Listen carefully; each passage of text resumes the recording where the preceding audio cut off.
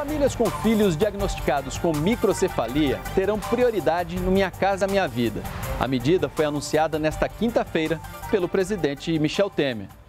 O programa tem atualmente 200 mil unidades prontas e parte delas será destinada a esse público ajudar a garantir o bem-estar de pessoas afetadas por uma má formação do cérebro que compromete a qualidade de vida. A determinação do governo federal é para que famílias com pessoas com microcefalia sejam dispensadas de sorteio e tenham prioridade para acesso a uma moradia do programa Minha Casa Minha Vida na faixa 1 do programa, que atende famílias com renda bruta de até R$ 1.800 por mês. Atendendo orientação do presidente da República, nesse momento em que o país, e de modo especial a região nordeste eh, do Brasil, sofre com a Zika um surto epidemiológico de microcefalia, que o Ministério das Cidades, dentro das prioridades de atendimento da população brasileira de acesso a esse programa na faixa 1 passa a estabelecer, dentro das prioridades já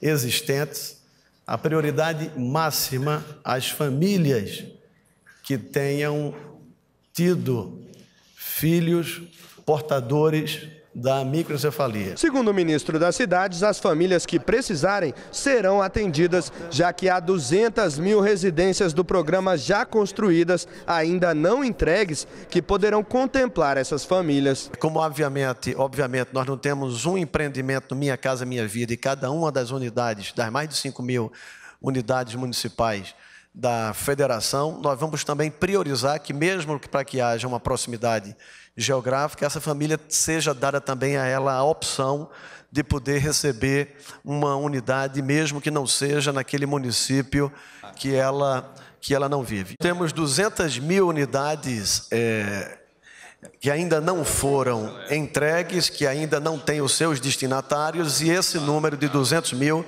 é um número hoje apto para atender esse conjunto de, famílias. Segundo o último balanço do Ministério da Saúde, são 1.687 casos confirmados de microcefalia no país. As moradias destinadas a essas famílias vão estar adaptadas para necessidades especiais. O presidente em exercício destacou a importância da medida ao afirmar que o número de famílias que têm integrantes com microcefalia é preocupante. Michel Temer lembrou que boa parte delas faz parte do programa Bolsa Família e diz que é importante atender de forma preferencial essas pessoas. É um detalhe importantíssimo, você privilegiar aquelas mães, aquelas famílias que eh, têm filhos portadores da microencefalia. E é um plano não só para o presente, onde o número já foi expressado pelo ministro Bruno Araújo, mas também para o futuro. Atentos, necessariamente atentos as questões sociais, temos que, é, digamos assim, destacar aqueles que, aquelas mães, aquelas famílias que, lamentavelmente, possam é, ter filhos nessas condições.